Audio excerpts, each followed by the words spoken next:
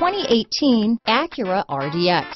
Viewed as Acura's answer to BMW's sporty X3, the RDX offers stylish interior, plenty of sport, and a nice amount of utility.